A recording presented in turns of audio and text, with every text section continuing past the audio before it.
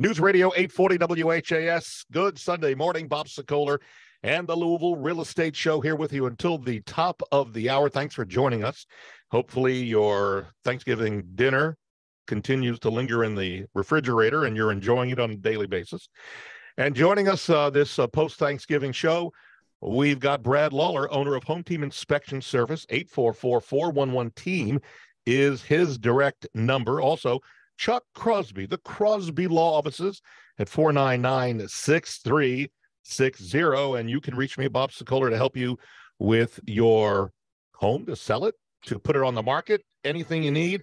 You can reach me anytime on my cell phone at 376 5483.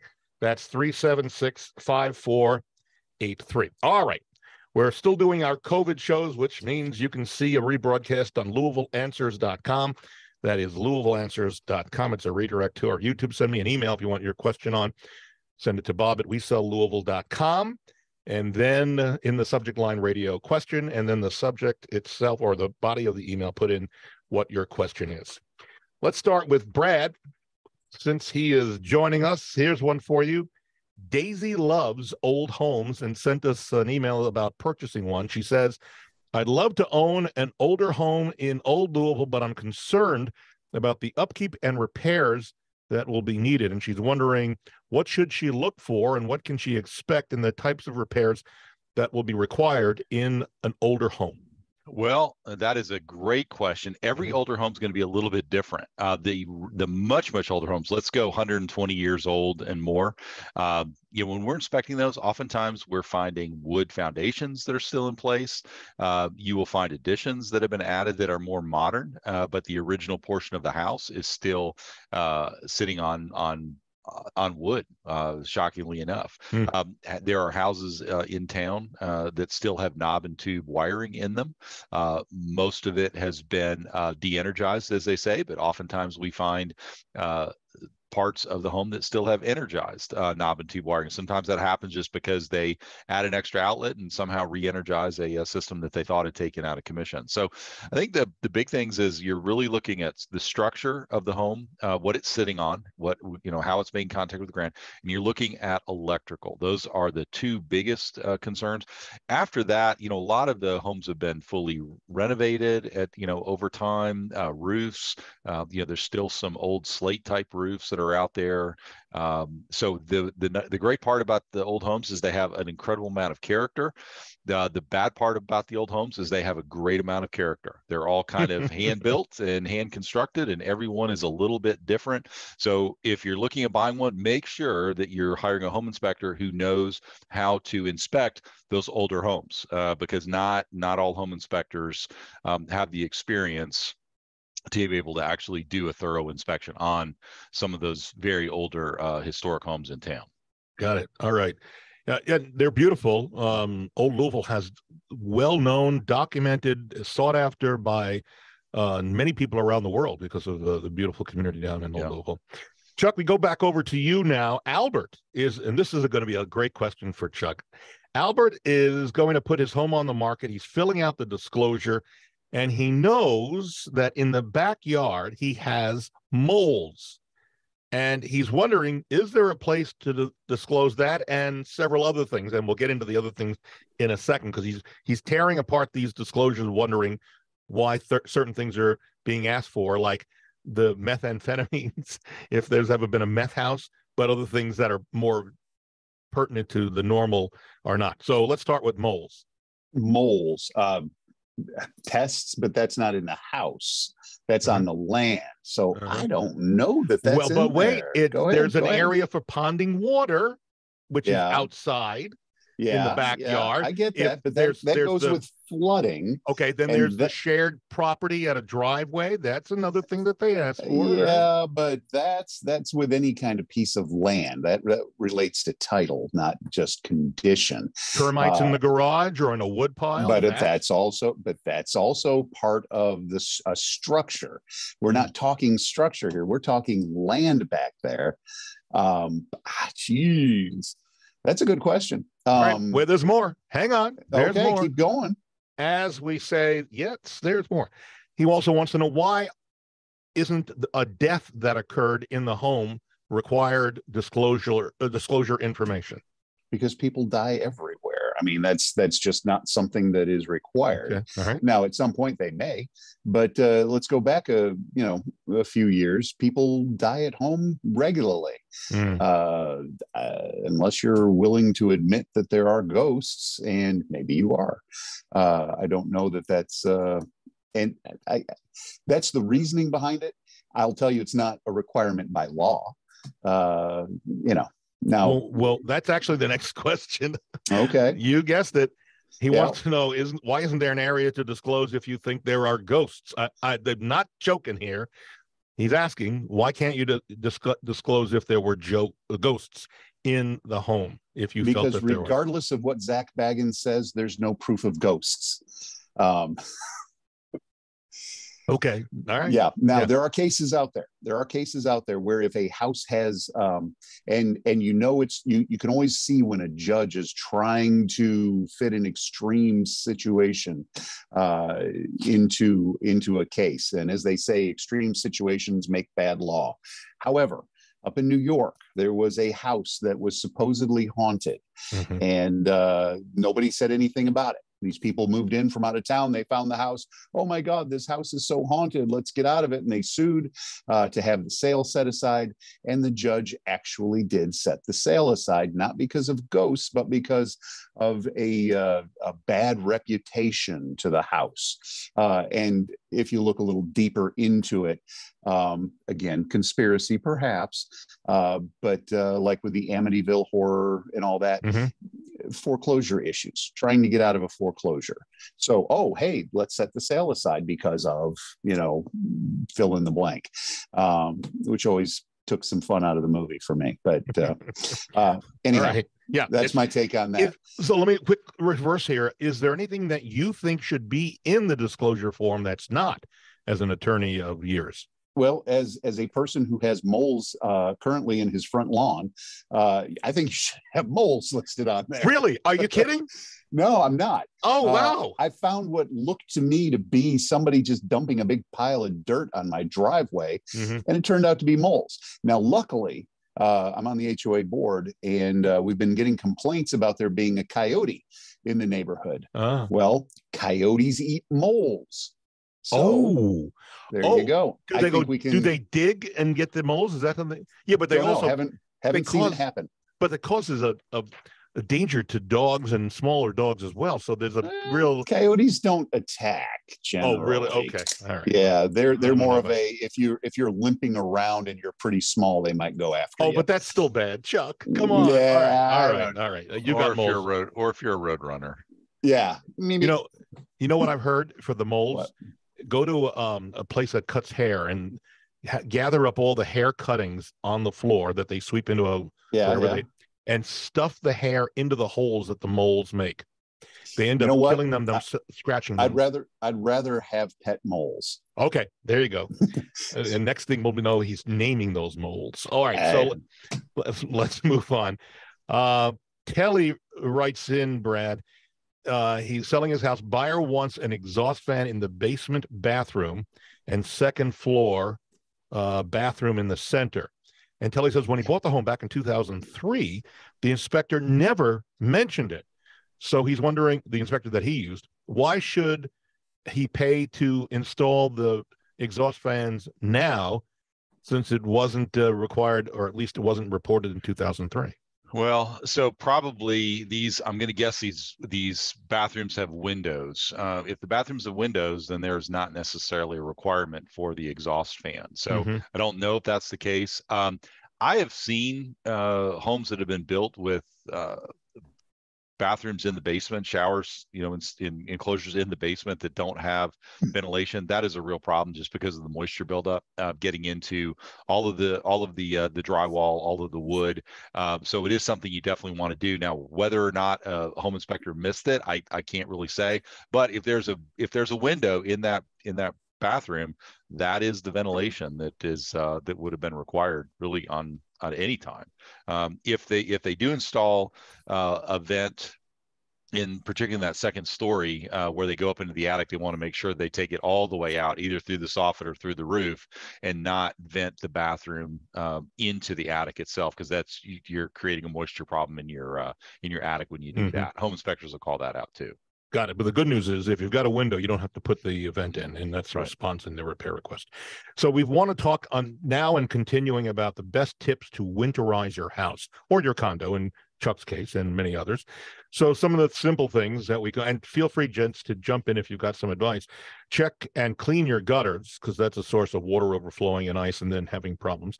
Right. When leaves and other debris clog your gutters, if you can uh, cause it can cause water to pool and freeze, and as it freezes, it creates icicles and ice dams. So that can and falling icicles can also hurt you. Also, set your filling sa- uh, fans to rotate clockwise, right? So it's pushing the air up and around the room. Right. Okay. Replace your air filters, and that's a reminder for me to do that as well because that's a way of inefficient uh, heating and air conditioning. Well, in this case, heating. Caulk window gaps and consider if you want insulation film uh, if you see a window gap. And then we've talked about on the previous show those things that fit under your door. I don't know right. what they're called. Uh, you yeah, I, I, mean, I've yeah. heard them called draft dodgers. I mean, it's mm-hmm. it's just it's it's basically like a giant piece of weather stripping. You know, and I think you were talking about last one of the last shows about yeah getting one that's actually held onto the Velcro, which is uh, which is it's a nice new. thing. Yeah. yeah. that's a nice setup. I don't know if it works as well as the one that has two tubes, one that goes outside and one goes inside, right. but I'll let you know on that. Okay. Another another suggestion is drain your water heater. Now, what do you? I, I'm not sure that the average person wants to go through that, but all year long the water heater is building up uh, with minerals and sediment uh, with heat, and you can force a water heater to work harder and heat your water hotter uh, do you suggest doing that as well? So you know, it's interesting. We get this. If if you've got a water heater that's any age at all, and you've never done that, just be prepared that when you open that valve, that valve's not going to close. Okay, so if you if you decide you want to do a regular really? drain to mm-hmm. get the sediments and the rust, uh, you know, potential rust out of there, just make sure you know that you may not be able to close that valve. Um, those things will stick uh, when they're not not operated regularly. Uh, they will become a problem, and now you've got a repair cost with that valve. So just just proceed cautiously on that. Make sure you can shut the water off to that tank before you start trying to drain it out. Good point. Finally, in our group of these suggestions, insulate exposed plumbing pipes, check hoses and faucet for leak. And when it gets down to sub-zero temperatures, Brad, uh, and you've got an outside exposed uh, vanity with um, plumbing underneath it.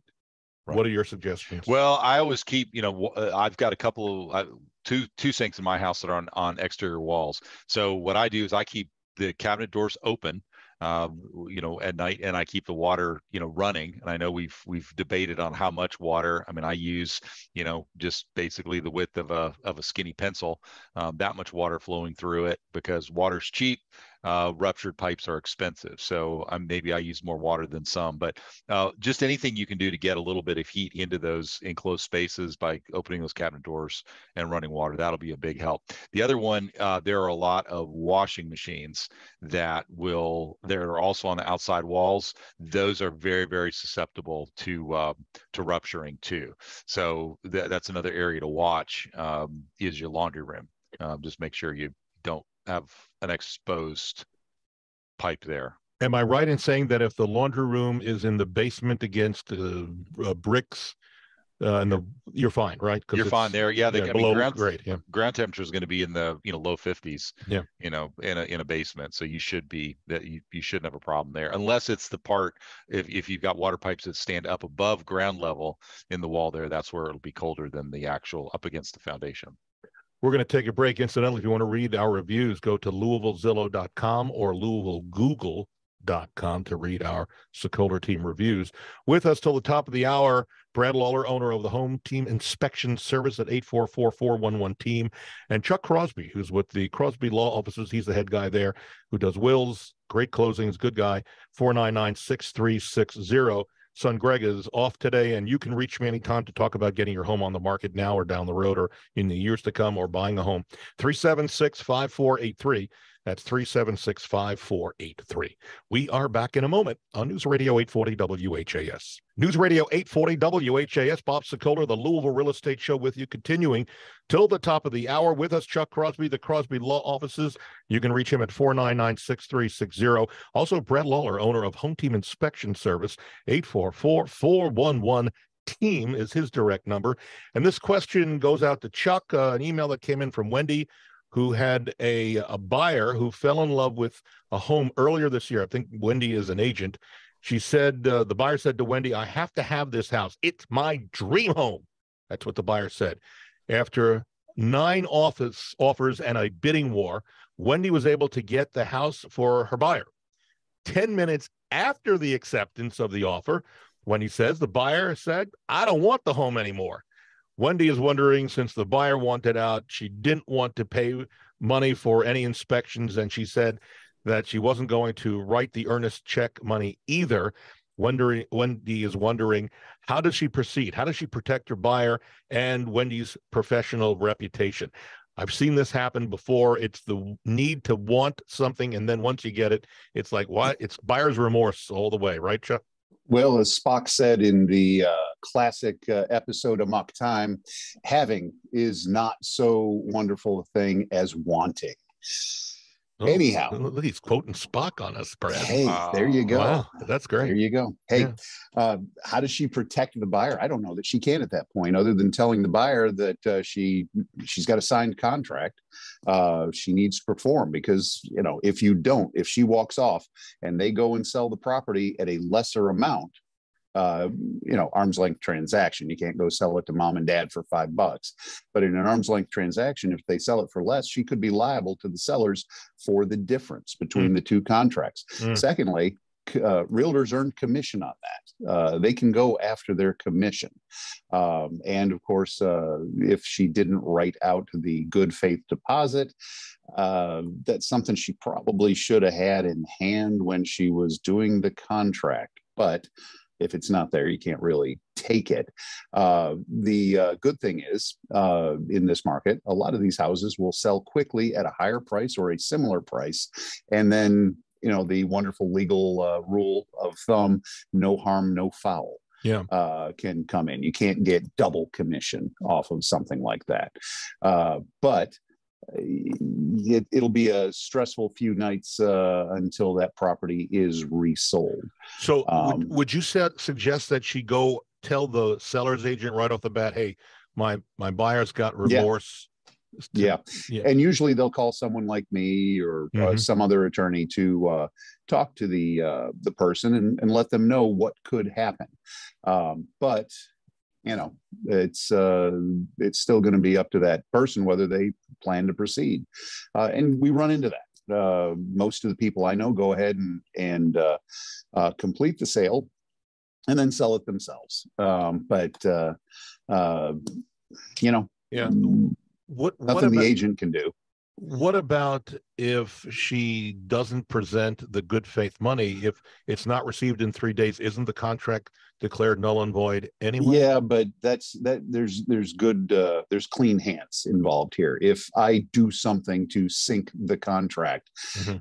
uh, not not so good for me. I can't uh, I, if I don't have clean hands in this, uh, then then I could still be held liable for that.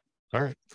Uh, that's a new term for us, clean hands. We know what yeah. that means normally, washing them, but okay. Yeah, well, the story. Yeah. All right, Brad. Harry loves to read, and he came across an interesting article, and he wrote us and asked, "Should we? I guess this is in this article. Should we really crack a window in our home year round?" I guess that was the suggestion, at least one of them in the article. Do you, do you have any thoughts about this? Should we be doing that? No, I know people that do that and they subscribe to that. But modern HVAC systems already are exchanging a, a fairly large amount of uh, fresh air into your home. You know, especially you know the higher efficiency systems. You're you're probably talking about a, you know, maybe you know 30 40 percent um, fresh air exchange rate. So you know, I think one of the, the, the challenges is, you know, this is, you know, November is Lung Cancer Awareness Month, so of course we're kind of thinking a lot about radon right now, and people mm-hmm. are saying, well, I don't want to close the windows, you know, my basement because you know it, it, the radon builds up. I think there's some truth to that, but the way you know again just modern hvac circulation you're you're getting a lot of fresh air in there. But you know some people like that uh, that that real you know that cool breeze blowing in in the in the winter. I, I know a lot of people sleep that way at night and you know if i don't think you're hurting anything but you're definitely you know uh, you're going to have to heat that air back up anything that uh, you you pull in from outside yeah, so it's your own call, but not necessarily one that you want to spend money just to have a window open. I, I hear right. you loud and clear. Chuck, Ivana wrote us an email. Uh, she's got a renter in one of her homes, not paying rent, and she went to court to have the renter evicted, but she's not sure if the renter can appeal. Apparently, the court said that doing due process on the eviction, but can the renter appeal? Yes, absolutely. Um, all cases uh, can be appealed. That's the great thing about the American judicial system. Mm. Uh, but the way it works is, um, no, if the judge, because uh, there's several steps. Once you get in front of the judge in a forcible detainer situation, eviction, um, the judge rules says, "Hey, you have to get out of the property." They're going to have seven days to get out. Mm. now, during that time, uh, if it's non-payment of rent or something like that, Okay. Uh, during that time, if they want to appeal, they have to pay the money in question into court. Okay. So if I say you owe a $1,000, you didn't pay, and I'm evicting you for that $1,000, if you want to appeal, you have to pay the $1,000 into the court, filing fees, and then it gets bumped up to uh, circuit court, which hmm. is mm. the the appeals court for district.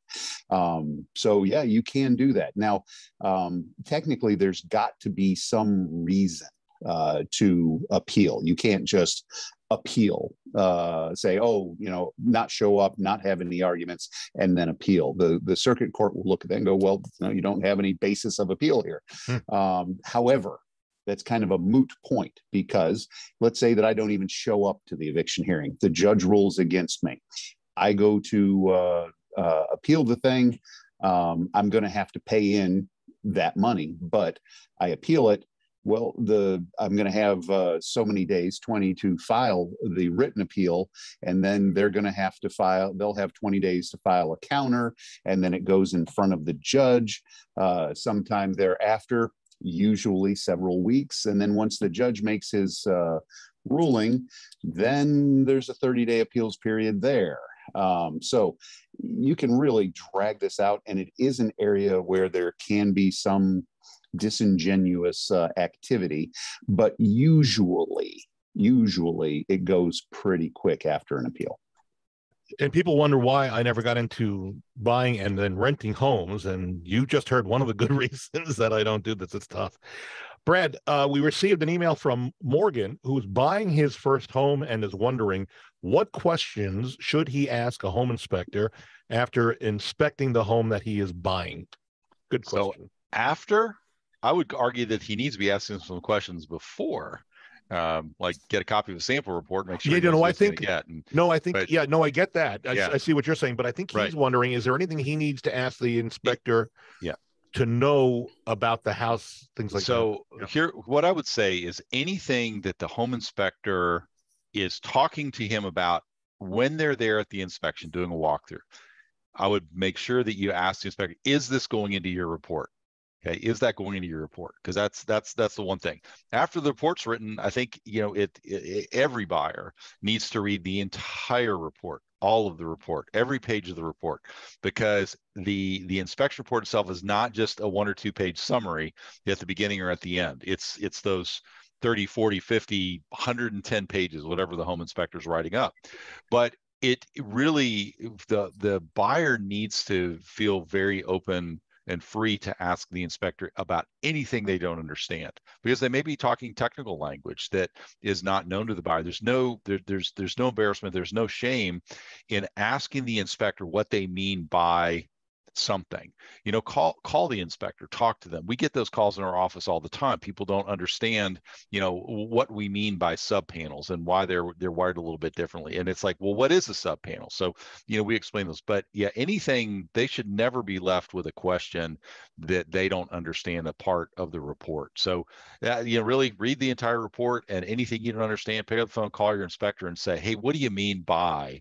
And the other thing is agents you know are all different experience levels. Some are very ex- experienced and can explain what the report means. Many can't. And so I think for agents too, if you don't understand what it is the home inspector is is writing there, just ask. Please, please ask them so they've got a complete understanding. Because the worst thing can happen is 90 days after the inspection is done, they move into the house and they say, "Hey, this is happening. I didn't know anything about it." The inspector goes, "Yeah, that's what we talked about, you know, in the report." It's like, "Oh, I didn't know that's what you actually meant. I didn't know I had to maintain that. I didn't know I needed to, you know, call someone out to look at that. So those those are probably the big things that you know after the inspection is done, you want to ask about. And it's funny in the next show that we talk to is the question about why do I need to read the whole report? Well, we'll get to that at, at a later date. Chuck, I think we've got time for one more question. Um, John sent us this email. He's desperately looking to buy a home but can only afford to rent right now. And John asks in the email if he finds a rent to own, uh, what are some of the precautions he should take in paperwork, and what are the drawbacks to renting then and buying a rent to own home? We only got about a minute left. Okay, first problem is uh, title exam. You want to make sure that if you do choose to uh, exercise an option to purchase, that they can in fact sell it to you. Most people wait until they decide to purchase the property. I think it should be done up at the beginning. The second thing is uh, they're going to ask you for an option fee. You need to be darn certain that this is what you intend to do. Um, I can tell you, I've written up hundreds and hundreds of lease options, uh, which is what we're talking about, uh, and probably closed only a few of them. I mean, the percentage is extremely small. A lot of people will uh, do that option. Then, you know, these people bail, don't buy the property. They get to keep the money. It's usually a non-refundable option fee. Uh, yeah. Those are the things that I would look for. Plus, have somebody read the lease option. Um, you know, usually it's going to be the the person who's selling the property that gets someone to put that together. Uh, all lease options are not created equal. Have your own attorney, like a Chuck Crosby, review yeah. that for you. Yeah. All right, we're at a time that was the voice of the Chuck Crosby at the Crosby Law Offices, 499 6360. Brad Lawler also with us, Home Team Inspection Service, 844 411 Team. And for me, if you want me to come and talk about selling your home or buying a home, go to bobsellmyhome.com or give me a call at 376 5483. Hope you had a great Thanksgiving weekend. I'll see you next week on News Radio 840 WHAS.